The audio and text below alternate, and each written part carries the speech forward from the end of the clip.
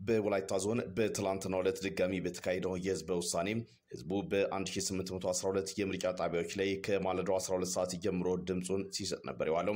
ይህ የድምፅ አሰጣጥ ሂደትም ሰላማዊና በተያዘው ቅድ መሰረት መጠናቀቁን የወላይታ ዞን ዋና አስተዳዳሪ አቶ አክሊሉ ለማ የህዝበ ውሳኔውን መጠናቀቅ አስመልክቶ በሰጡት መግለጫ አስታውቋል። ትላንት ከማለዳ 12 ሰዓት ጀምሮ እስከ ምሽት አንድ ሰዓት ከ20 ድረስ ህዝባችን የዚህ የደቡብ ኢትዮጵያ ክልል ምስረታን በተመለከተ የደግፋለሁ አልደግፍም በሚለው የራሱን ውሳኔ ሲሰጥ ነው የቆየው። ይሄ ሂደት የድምፅ አሰጣጥ ሂደቱም እንደዚሁም ደግሞ ምሽት የድምፅ ቆጠራው ሂደት ሰላማዊ በሆነ መልኩ ተጠናቋል። በ1812ቱም ምርጫ ጣቢያዎች ምንም አይነት የጸጥታ ችግር አልተከሰተም። ህዝባችን ሰላማዊ በሆነ መልኩ ከማለዳ 11 ተኩል ጀምሮ ቀደም ብለው ተሰልፈው በስፋት በዛ ያለ ቁጥር ያለው ረዣዥም ሰልፎች ላይ ቆመው የዚህ ድምፅ የመስጠቱን ስራ ሲያከናውን ስለነበረ በሂደቱ የሚያጋጥሙን ችግሮች አልነበሩን። ከመራጭ ቁጥር መብዛት ጋር በተያያዘ በአንዳንድ ምርጫ ጣቢያዎች ላይ በፍጥነት ያለመስተናገድ ክፍተቶች እንደነበርና ይህንንም ከምርጫ ቦርድ ጋር በመነጋገር መቅረፍ ስለመቻሉ አንስተዋል። ምሽት ላይ በሁሉም ምርጫ ጣቢያዎች ላይ ቆጠራው ሰላማዊ በሆነ መልኩ መካሄዱንና ዛሬ ማለዳ በየምርጫ ጣቢያዎች ጊዜያዊ ውጤቶች መለጠፋቸውን ገልጸዋል። በዚህ ሂደት በተለያየ መልኩ አንዱ ሲነሱ የነበሩ በጣም ሰልፍ ረዣዥም ስለነበረ ቁጥሩ የበዛ መራጭ በየምርጫ ጣቢያ ተገኝቶም ስለነበረ አንዱ ሲነሳ የነበረው የምርጫ አስፈጻሚዎች በፍጥነት ያንን መራጭ የማስተናገድ ጋር ተያይዞ የሚነሱ አንዳንድ ቅሬታዎች ያሉ ወይም የነበሩ ቢሆንም ይህንን በተመለከተ ከምርጫ ቦርድ ጋር በቅርበት ደግሞ እየተናበብን ከሰዓት ወደ ሰዓት በተቻለ መልኩ ህዝባችን ተሳታፊ እንዲሆን የደረገበት ሁኔታ አለ።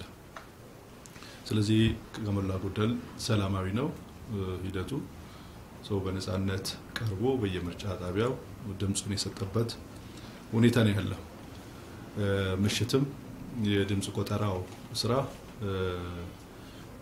ሙሉ በሙሉ በሚባል መልኩ በሁሉም ምርጫ ጣቢያዎች ማለት ነው ቆጠራው ተከናውኗል። ሰላማዊ በሆነ መልኩ ነው የተካሄደው። ይሄ በዛሬ ማለዳ በየምርጫ ጣቢያው ጊዜያዊ ውጤቶች እየተለጠፉ መራጮች የራሳቸውን ውጤት በየአካባቢያቸው ያዩበት ሁኔታ ነው ያለው። ምርጫው መጠናቀቁን ተከትሎም የምርጫ ቁሳቁሶችን ወደ ማዕከል የማሰባሰብ ስራ እየተከናወነ እንደሆነ አስረድተዋል። ይሄ ምርጫ ተጠናቋል። ቆጠራው ተጠናቋል። ቁሳቁሶችን ከምርጫ ጣቢያዎች ወደ ምርጫ ማዕከላት የመሰብሰብ ስራ እየተከናወነ ነው ያለው። ከዚህ ጎን ለጎን ከዚህ ቀደም ምርጫ ቦርዱ ወደ 5400 የሚጠጉ ምርጫ አስፈጻሚዎችን ከአዲስ አበባ ወደዚህ አምጥቶ ስለነበረ ይሄ ኃይል በሰላም እንግዲህ ወደ መጣበት የመመለስ የመሸኘት ስራ ከምርጫ ቦርድ ጋር ሆነን የምንሰራው ነው የሚሆነው። የጸጥታ ኃይሉ ከክልልና ከአጎራባች ዞኖች ይሄን ስራ ለማስፈጸም ወደ ዞናችን ተንቀሳቅሶ ስለነበረ ሲያስፈጽሙም ስለቆዩ እነሱም በተመሳሳይ መልኩ ወደ የመጡበት የመመለስ ስራ አሁን ለማድረግ ወይም ለመሸኘት የተዘጋጀን ያለ ነው። ይሄ በድጋሚ የተካሄደው ህዝበ ውሳኔ ውጤታማ በሆነ መልኩ ሰላማዊ በሆነ መልኩ በዞናችን ተከናውኗል ብለን እንወስዳለን።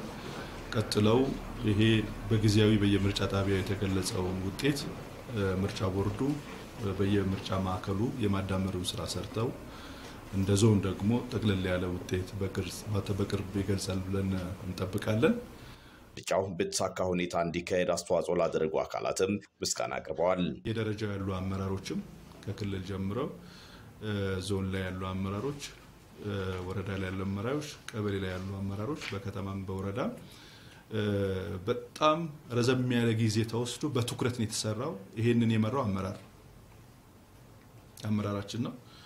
ለእነኛ አመራሮችም በኢትዮጵያ ዴሞክራሲ ታሪክ ሂደት ውስጥ በምርጫ ታሪክ ውስጥ ትልቅ ታሪክ የሰሩ ናቸው ብዬ ወስዳለሁ። እነሱንም ለማመስገን ወስዳለሁ። ከዛ ውጭ ይህንን የምርጫ ሂደቱን በህዝባችን ውስጥ በየምርጫ ጣቢያ ተመላልሰው የታዘቡ ዓለም አቀፍም የሀገር ውስጥም ታዛቢዎች በምርጫ ቦርድ በኩል ፈቃድ አግኝተው የገቡ ሂደቱን በተሻለ መልኩ ከኛ ጋር በህዝባችን ውስጥ የሚሰራ ስራን አግዘውናል የሚል እምነት አለኝ። እንደዚሁም ደግሞ የሚዲያ ባለሙያዎችም የተለያዩ ሚዲያዎችም ይሄ ወላይታ ውስጥ እየተከናወነ ያለው ህዝበ ውሳኔ ለመላው ኢትዮጵያውያንም ተደራሽ እንዲሆን የራሳችሁን ሚና ስለተወጣችሁ አሁንም በዞን አስተዳደር ስም ከፍ ያለ ምስጋና አለኝ።